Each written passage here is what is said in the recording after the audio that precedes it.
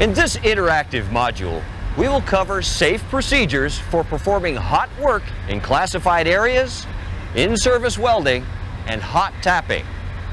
When we're finished, you should be able to identify those safe work procedures and the hazards involved with hot work in classified areas. You should also understand safety requirements for performing in-service welding and hot tapping. Let's start by defining hot work. Hot work is an operation that could be a source of ignition when performed in a potentially flammable or explosive environment. These environments are known as classified areas. Performing hot work in classified areas requires special procedures. Examples of hot work include welding, burning, grinding, blasting or opening energized electrical junction boxes. The use of open flame or non-intrinsically safe electrical tools and instruments are other examples of hot work. Generally, classified areas are where combustible concentrations of hydrocarbons or other flammable vapors may be released and accumulate. Typically, classified areas surround equipment which processes or contains hydrocarbons. Storage tanks, wellheads, pipeline connections, and valves are all examples of such equipment. Determining if an area is classified is pretty straightforward. All areas within facility boundaries are considered classified unless designated otherwise, and the same is true for offshore platforms. When performing overhead work, areas within 50 feet of overhead power lines are defined as classified. These areas are kept classified to provide greater protection for workers from electrical shock, fire, and explosions. Overhead work includes operating cranes, winch trucks, or raising derricks. It also includes traveling with loads, equipment, and winch poles which exceed 15 feet above ground level. The dimensions of a classified area change depending on the type of work being done. When open flames are involved, classified areas extend 100 feet from facilities or equipment containing hydrocarbons. However, when the work involves using portable, spark-producing equipment, or when opening energized electrical panels or junction boxes, the classified area extends 20 feet from equipment or facilities containing hydrocarbons. This includes areas within 20 feet of vehicles that transport hydrocarbons, such as vacuum trucks, hot oil trucks, and fuel oil trucks or trailers. Examples of portable spark-producing equipment include electric power tools, heaters, and spark-ignited engines. The dimensions of a classified area change depending on the type of work being done. When open flames are involved, classified areas extend 100 feet from facilities or equipment containing hydrocarbons. However, the classified area extends only 10 feet from equipment or facilities containing hydrocarbons if you're using portable spark-producing equipment or when opening energized electrical panels or junction boxes. This includes areas within 10 feet of vehicles that transport hydrocarbons, such as vacuum trucks, hot oil trucks, and fuel oil trucks or trailers. Examples of portable spark-producing equipment include electric power tools, heaters, and spark-ignited engines. You must process a special permit before performing any of the tasks we just discussed in a classified area. The permit process exists because of the potential for explosion and fire in a classified area. A hot work permit may also be required in non-classified areas at the discretion of a supervisor, offshore operator, or other designated personnel. You must process a special permit before performing hot work in any classified area. A hot work permit is also required when trucks, graders, cranes, and other mobile equipment are parked within 10 feet of a classified area. A hot work permit may also be required in non-classified areas at the discretion of a supervisor, offshore operator, or other designated personnel. Let's continue now with a look at permits and responsibilities. Hot work permits are valid only for the specific area, time frame, type of job, and person doing the work. Permits can be closed out only under these conditions. When the job is complete, 12 hours have elapsed, when a shift changes, or an emergency condition occurs. When a permit expires or is canceled, a new permit must be processed before work can begin again. A closed out permit may not be reauthorized. Permits can be closed out only under the following conditions. When the job is complete, when a shift changes, or an emergency condition occurs. When a permit expires or is canceled, a new permit must be processed before work can begin again. A closed-out permit may not be reauthorized. If site or operating conditions change, any person has the authority to stop the work and void the permit until the conditions are corrected. That includes all employees and contractors, no matter what their position. For more details about hot work permits, check your company's safety and health manual or handbook. Let's now look at the responsibilities of the various people involved in hot work. When the permit is not initiated by the supervisor, the initiator is responsible for completing the form. The initiator should coordinate the job with the supervisor or the designated alternate in charge of the facility. When the permit is not initiated by the supervisor, the construction engineer is responsible for completing the form and coordinating the job with the supervisor or the designated alternate in charge of the facility. Operating personnel must inspect the job site to ensure the proper conditions exist and that all equipment is prepared correctly before hot work begins. The inspection should cover areas at least 35 feet adjacent to the hot work site, including the distant side of walls or barriers where sparks or heat might spread. Operators must verify the condition and placement of fire extinguishers and other safety equipment. Personnel doing hot work should be told where the fire extinguishers are the operator must also make sure those doing the hot work are familiar with the location and use of communications equipment. Before signing the permit, operating personnel must always complete an LEL, or Lower Explosive Limit, test. Under certain conditions, tests must also be performed for oxygen, hydrogen sulfide, carbon monoxide, carbon dioxide, and any other toxic gases or hazardous conditions that may exist. Be sure to perform the oxygen test first when working in a confined space or vessel to ensure the accuracy of the LEL reading. Unit operators must also ensure that lines to be demolished or removed are properly identified and marked. Designated or operating personnel must inspect the work area periodically and retest the atmosphere as the hot work progresses. If a change occurs that results in an unsafe condition, they must stop the work immediately. After the job is finished, operating personnel must inspect the area to make certain the work is complete and that the area is clean before equipment can be returned to service. Only then may the permit be signed off. Now let's take a look at what's expected of supervisors during hot work operations. The supervisor is responsible for the safety of personnel and equipment and must be satisfied that proper precautions for hot work have been taken. This would include ensuring that all people involved in processing the permit have fulfilled their responsibilities and that workers are fully qualified. Before the work begins, the supervisor should hold a pre-job safety meeting for all personnel working at the site.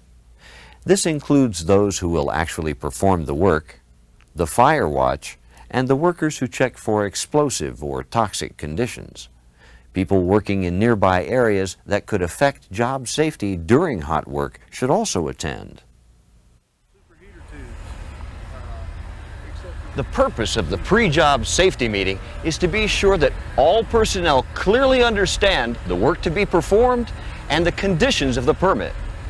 The meeting is also to verify that production and process equipment are prepared and isolated and the area is ready for hot work. Established emergency response procedures should also be reviewed. The supervisor may appoint a designated alternate to perform his tasks, including examining and resolving any safety concerns so the permit can be approved and signed.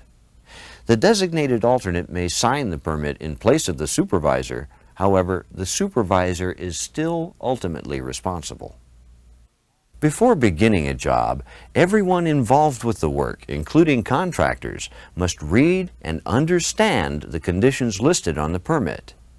They must also alert other workers to special precautions or conditions involved in the job. It's the supervisor's responsibility to make sure all these things are done. People doing the work must make every effort to keep sparks and slag at the work level. This includes confining sparks so none fall through pipe racks or grating. Workers must remain aware of conditions in the area and stop work when conditions change. If work stops because unsafe conditions develop, work must not resume without approval of the operating personnel. When the job is completed, or at the end of the shift, workers should clean up and secure the work area. Then return the permit to the supervisor, designated alternate, or main control room to close out the job. Hot work involving welding, cutting, or an open flame requires that someone be designated as fire watch. The fire watch must have no other assigned duties while on watch. They must be fully aware of the conditions listed on the permit and continually observe the area for safety and combustion hazards. The fire watch must notify the person doing the work if sparks are not contained in the immediate work area. They should also alert others entering the work area of hazards such as arc flashes, grinding, cutting, or overhead hazards. The fire watch must be trained to use available fire extinguishing equipment. They must also be familiar with the location and operation of alarm systems. If a small fire starts, the fire watch should sound the alarm for assistance first and then attempt to extinguish the fire. Finally, the fire watch must remain on the scene for at least 30 minutes after completion of hot work to make sure nothing ignites. The Safety Department representative is responsible for providing an independent assessment of the work area before any work begins involving hot work in a confined space or on in-service piping. Contractors have added responsibilities when contract welders are used. The contractor must maintain a permanent record of all welders used at a job site. This record must include the name, social security number, identifying mark, qualification record and date of last certification, and testing authority for each welder. In addition to duties covered by processing the permit, several other functions must be performed before starting work. This includes properly preparing and isolating equipment as needed. Operating personnel must make provisions for locking and tagging equipment, installing blinds, or performing other isolation procedures. Cover drains and sewers in the area with a proper vapor barrier. Be sure all equipment is properly ventilated. Isolate the hot work area from other equipment by using fire-resistive tarps. Also, when scaffolding is used, ensure that it meets all requirements. The supervisor must check all welding and cutting equipment to make sure they've been inspected for cracks, splits, and loose connections in the welding leads. Leaks in oxygen or acetylene connections and leaks in hoses or valves must be repaired. Backflow valves and flashback arresters must be installed. Any damaged equipment may not be used. Grounding leads are to be placed as close as possible to the area being welded. This confines possible arcs to the immediate welding area and prevents arcing across bearings, seals, and so on. When welding at offshore installations, be sure welding devices have exhaust spark arresters, emergency shutdown devices, and drip pans. Shutdown devices must be independent of the normal fuel shutoff for the welding engine. These shutdown devices must also be in place when welding at onshore product loading terminals.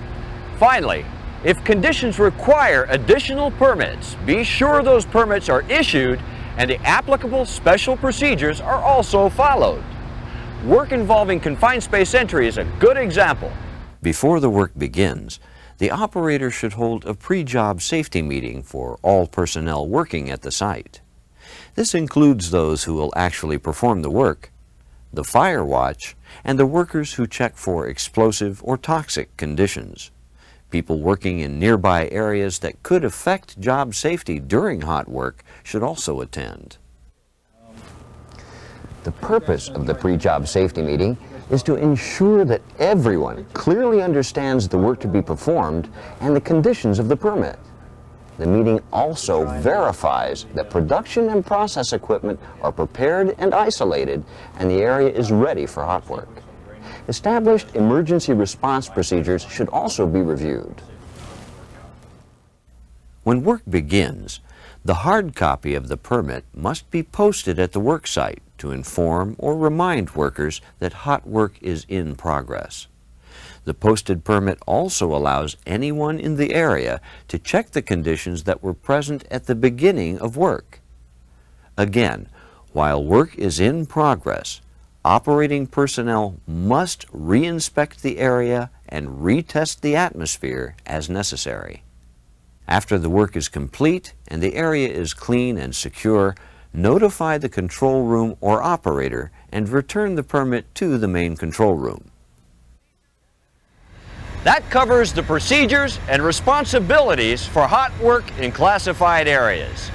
Remember to consult your company's safety handbook or Safety and Health Manual for details on processing permits and additional procedures that may apply to your specific location. Let's turn now to in-service welding and hot tapping. These are not routine procedures. They're limited to essential changes made to pipes or equipment which must remain in service and cannot be blinded, disconnected, or purged. However, these procedures do not apply to pressure vessels.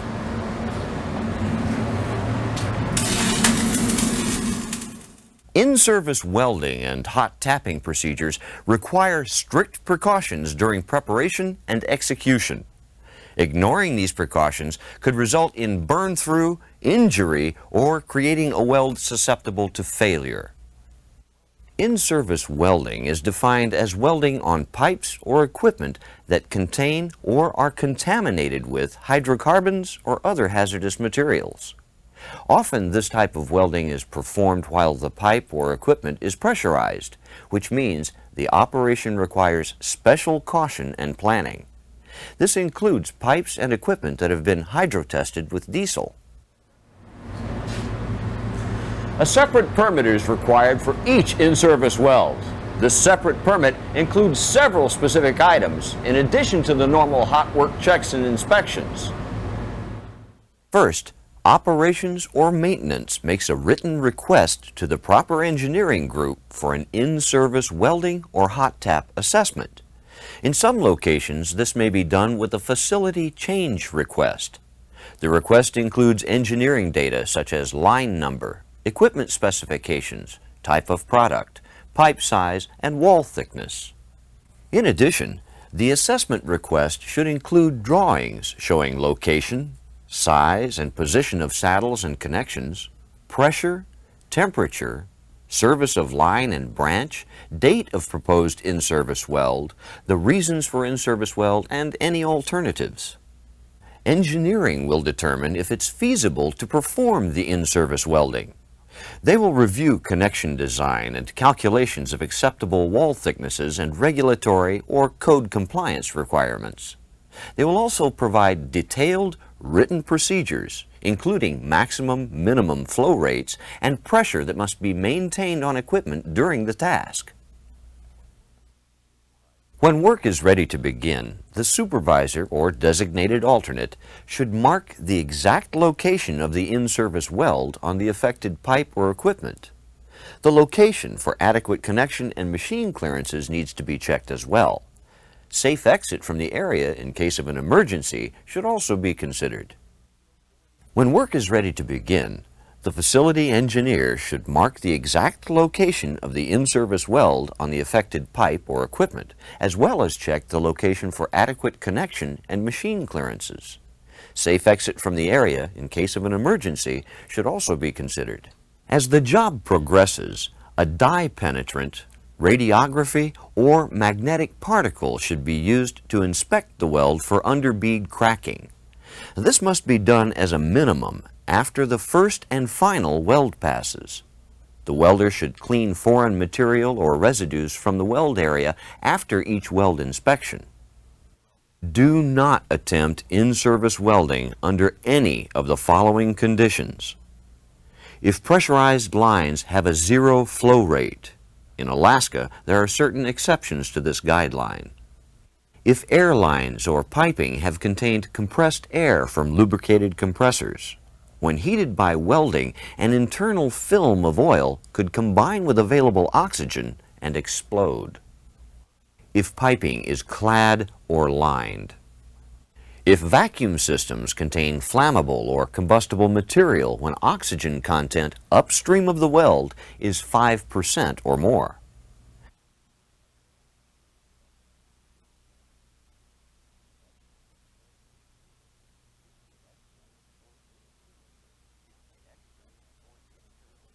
if the external or internal surface has defects such as pitting, laminations, bulges, and so on, or if the line contains more than 21% oxygen. A variance is required before in-service welding may be performed on any pipes with less than one quarter inch wall thickness. An immediate toxic risk may result from welding in the presence of acetylene, ethylene, acids, propylene, or other hazardous or toxic materials that are prone to decomposition when exposed to the heat of welding. Therefore, these conditions should also be avoided. Welding on lines containing hydrogen sulfide or sour environments should be done only in emergency situations. Open-ended vapor flare or vent lines require continuous flow during in-service welding. Remember, the oxygen concentration in the line must be less than 5%. Also, be sure that all operating areas tied into the flare system are aware of the welding operation. When preparing for in-service welding, do not assume equipment is in new condition. Measurements must be taken to ensure that proper wall thickness exists for in-service welding to be done safely. Also, avoid in-service welding closer than 18 inches to a flange or threaded junction or within 3 inches of a welded seam. When welding on a tank, be sure the liquid level is at least 3 feet above the welding area. Never pump into or out of a tank while hot work is in progress. And all liquid lines should be properly isolated. Hot tapping is another procedure that has a limited but important use. It's a technique for attaching a branch connection to in-service piping by drilling through a previously attached welded connection and valve. Precautions for hot tapping include those we covered for in-service welding and general hot work. A separate permit is also required for each hot tap, even when done outside a classified area. The attachment weld must be hydro-tested before the permit can be issued. Engineering must provide a hot tap calculation sheet that includes branch line specifications, tap machine specifications, attachment and adapter dimensions, cutter travel, pressure and temperature limitations, and sketches of the proposed installation. Only qualified personnel may install and operate hot tapping equipment, and a pre-job safety meeting must be conducted with all personnel involved in making the hot tap. The nameplate on the tapping machine should be checked for rating, temperature, pressure, service, and so on. The tapping procedure should not start if any of the parameters listed on the plate may be exceeded during the job, and the hot tap machine must be pressure tested before using it. Also, do not continue if the line to be tapped contains more than 21% oxygen. The hot tap valve, adapter, and hot tap machine should be installed using information from the calculation sheet.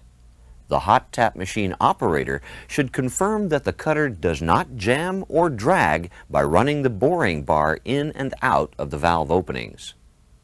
Generally, a drill should be used for branch pipes up to 2 inches.